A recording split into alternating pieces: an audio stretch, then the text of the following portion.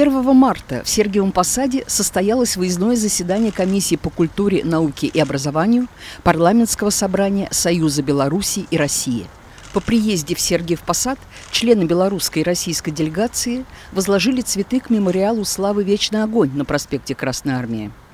Недавно, в прошлом году, была создана новая парламентская комиссия по культуре, науке и образованию, потому что оба лидера наших государств понимают, насколько важна культура, наука и образование для нашего союзного государства. Мне оказана честь возглавить эту комиссию. Заседание проходило в стенах Московской духовной академии.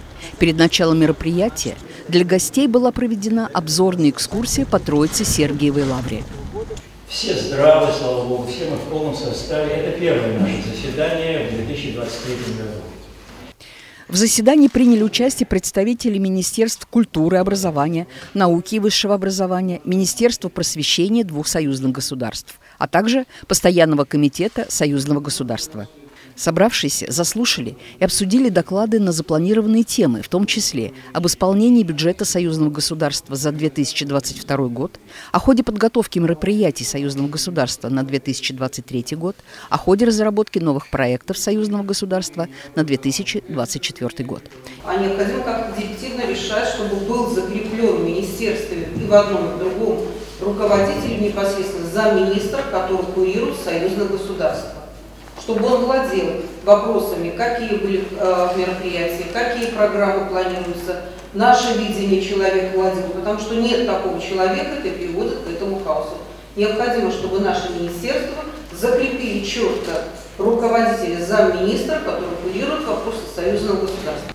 Я поддерживаю то, что говорила наша коллега, и мы здесь уже не раз говорили на нашей комиссии, я не знаю, как идет работа в других комиссиях, но на нашей комиссии мы говорили о том, что обязательно должны быть руководители министерств и ведомств.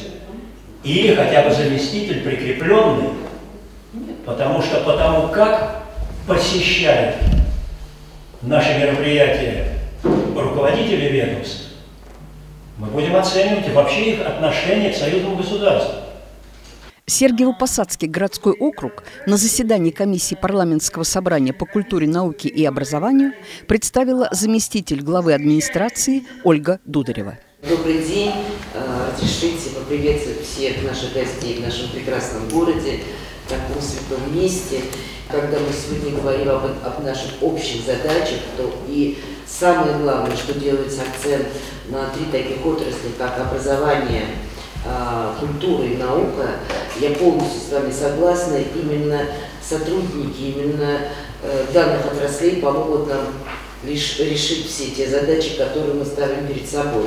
И, конечно, то, что сегодня вы посетили наш мемориал, мы знаем, вы часто гость нашего города, э, задача стоит и увековечить имена всех э, погибших. Место такое уже подобрано. Это будет противоположная сторона э, территории от Вечного огня.